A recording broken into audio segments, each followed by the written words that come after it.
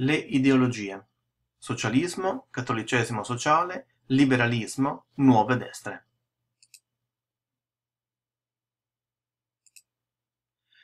Nel corso della seconda metà dell'Ottocento furono elaborate in Europa numerose ideologie, destinate ad avere un notevole seguito nel secolo successivo, in particolare il socialismo e il cattolicesimo sociale politico. Si rinnovarono molto anche i partiti tradizionalmente rappresentanti della borghesia, mentre sorsero quasi dal nulla nuove ideologie antidemocratiche di estrema destra, spesso a carattere antisemita. Nel 1864 un insieme di sindacati e associazioni operaie fondò a Londra l'Associazione internazionale dei lavoratori, detta anche la Prima Internazionale. Il principale ispiratore fu il tedesco Karl Marx.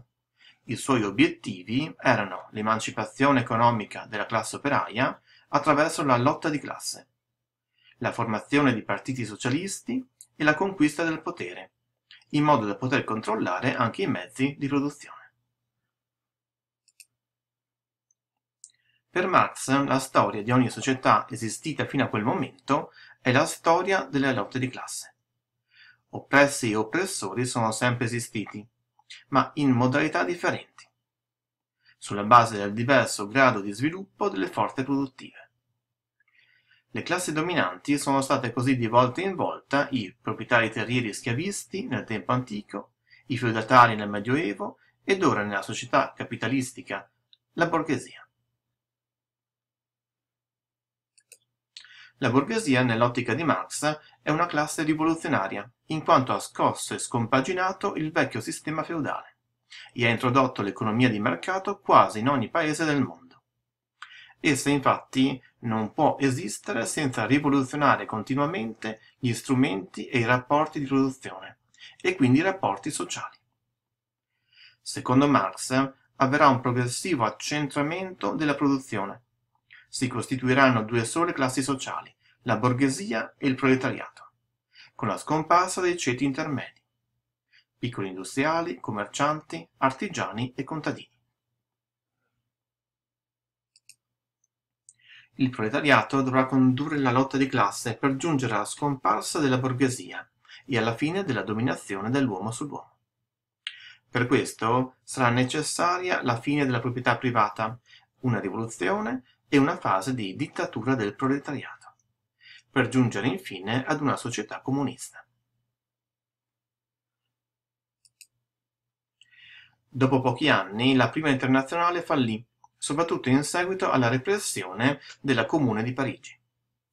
Oltre a questo c'erano stati dei dissidi dentro l'associazione, in primo luogo fra Marx e i mazziniani, che rifiutavano il concetto di lotta di classe a favore di una collaborazione fra le classi. Il secondo conflitto sorse fra gli anarchici guidati da Bakunin e Marx.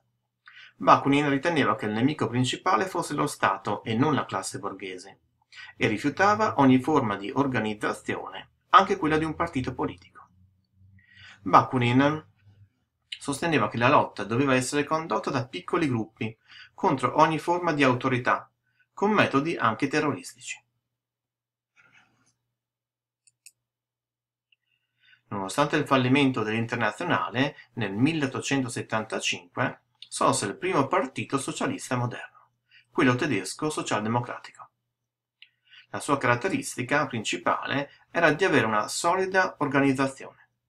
In ogni comune c'era una sezione, eh, queste erano riunite in federazioni a livello distrettuale e così via fino agli organi nazionali. Attorno al partito, inoltre, sorse una miriade di associazioni collaterali, a carattere ricreativo e culturale, ma anche sindacale. Questo modello eh, di partito eh, verrà imitato da tutti gli altri partiti socialisti e non nel corso del Novecento.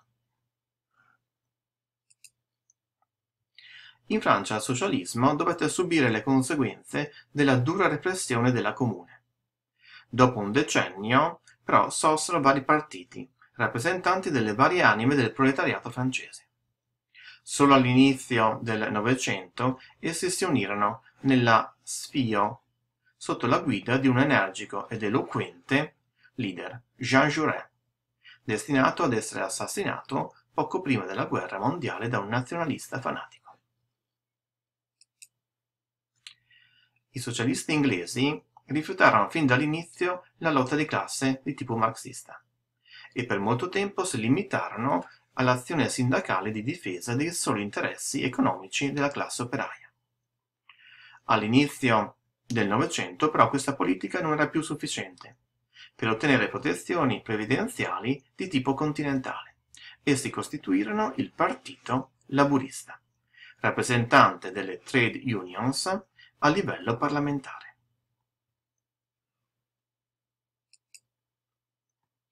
In Italia il Partito Socialista nacque nel 1892, su iniziativa di ex anarchici ed ex radicali. Dovette scontrarsi con l'intransigenza del potere politico che tentò più volte di scioglierlo. Nel partito, a inizio Novecento, si formarono due correnti, quella riformista o minimalista e quella massimalista che predicava la rivoluzione. Nell'impero russo i socialisti non poterono mai costituire dei partiti legali e dovettero restare sempre in clandestinità, braccati dalla terribile polizia politica degli zar, la Okrana. Sorsero gruppi filo-anarchici come quello dei populisti e dei nichilisti, che praticavano metodi terroristici uccidendo uno zar e numerosi ministri. Questi gruppi confluirono nel Partito Socialista Rivoluzionario, molto forte nelle campagne russe. Successivamente nacque anche un partito di tipo marxista, quello socialdemocratico, che però si suddivise in un gruppo detto bolscevico e un altro detto menscevico.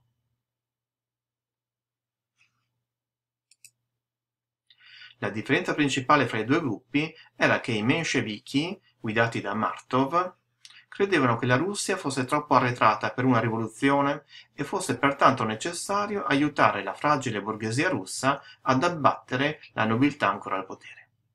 Il partito eh, doveva pertanto prepararsi ad una lotta di tipo elettorale.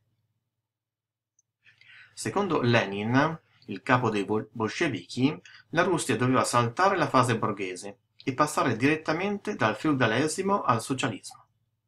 Per questo occorreva un partito concepito come una avanguardia, un partito di rivoluzionari, quasi dei professionisti, pronti a guidare le masse. Lenin però escludeva ogni forma di terrorismo.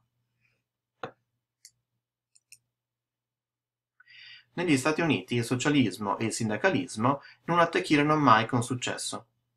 Ad essi eh, si opponeva una dura resistenza da parte dei magistrati e delle istituzioni che posero vincoli legali estremamente duri. Anche le imprese eh, si accordavano fra di loro per licenziare gli operai troppo propensi a lottare per i propri diritti. Gli stessi operai erano estremamente individualisti o frammentati sulla base delle nazionalità di provenienza.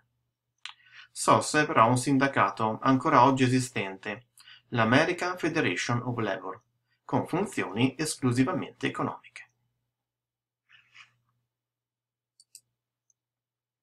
Alla fine del secolo un giornalista socialista, Bernstein, iniziò a rivedere criticamente le tesi di Marx. A suo giudizio, la concentrazione delle imprese e la proletarizzazione non stavano avvenendo, pertanto propose di abbandonare gli ideali rivoluzionari e di limitarsi a chiedere riforme a favore dei lavoratori. Le sue proposte provocarono la frattura di molti dei partiti che nel 1889 avevano ricostituito l'Associazione Internazionale. Essi si divisero in rivoluzionari e riformisti. L'Internazionale discusse anche di che cosa si dovesse fare in caso di guerra. La risposta fu guerra alla guerra ma al lato pratico si rivelò di difficile attuazione.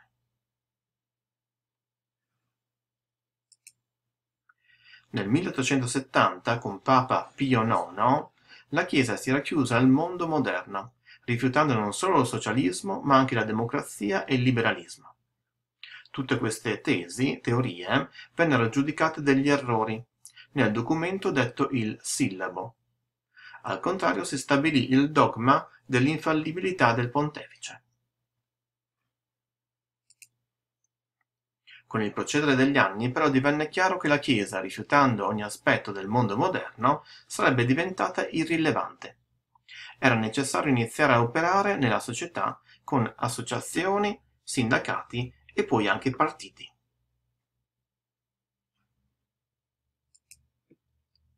Il papa che fece di più fu Leone XIII, che con l'enciclica Rerum Novarum spinse la Chiesa e i fedeli ad una maggiore azione nel mondo, pur rifiutando ogni cedimento sul piano della dottrina. In Italia però la partecipazione alla vita politica continuò ad essere vietata, dato che i papi non riconoscevano la legalità dell'abbattimento dello Stato pontificio. La borghesia aveva costituito da tempo vari partiti, che però non erano strutturati come la socialdemocrazia tedesca. Si trattava di partiti che operavano essenzialmente in Parlamento, si dotavano di un'organizzazione solo durante le elezioni e si appoggiavano prevalentemente su persone influenti nei singoli comuni, i cosiddetti notabili. Con la nascita dei partiti a base socialista o confessionale entrarono in crisi. Molti elettori dei partiti borghesi tradizionali confluirono nei nuovi partiti cattolici e qualcuno anche in quelli socialisti. Parecchi, come vedremo, preferirono le nuove formazioni dichiaratamente antidemocratiche. La democrazia venne sempre più, più considerata un sistema che portava al potere persone non competenti. Essa doveva essere abolita a favore di metodi eh, che assicurassero la gestione dello Stato a chi avesse le opportune competenze tecniche. Questi nuovi partiti di destra utilizzavano molte dottrine ideologiche, che andavano dal tradizionalismo cattolico e monarchico all'antisemitismo, unito a forme di anticapitalismo. Essi però erano unificati da un acceso patriottismo, i movimenti nazionalisti ritenevano di avere il dovere di unire in un solo Stato tutte le componenti del popolo che per vari motivi si fossero trovati, trovate al di fuori dei confini. Sorsero così organizzazioni come quella pan-germanica e quella pan-slavista. Un'idea condivisa era il cosiddetto organicismo, cioè la concezione che il popolo e la nazione fossero entità unitarie e quasi degli organismi viventi. In base a questa idea non era ammissibile che coesistessero idee differenti o classi differenti, addirittura in lotta fra loro, come sostenevano i socialisti. Un altro elemento unificante era l'antisemitismo. Già presente in Europa con motivazioni religiose, esso si estese man mano che gli israeliti che gli israeliti ottenevano la completa equiparazione legale. L'antisemitismo assunse una coloritura addirittura anticapitalistica, dato che gli ebrei venivano reputati i responsabili degli sconvolgimenti provocati dalla rivoluzione industriale. I socialisti lottarono contro queste concezioni che definirono il socialismo degli imbecilli.